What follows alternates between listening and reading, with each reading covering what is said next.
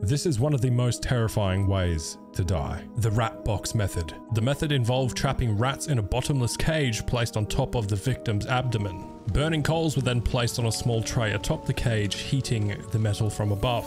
The rats, desperate to escape the heat, began to burrow through the only soft surface that they could find, the victim's flesh. But it gets even worse. Not only was it used for the abdomen, there's been documented cases of the rat box method being used on the face and also the family jewels.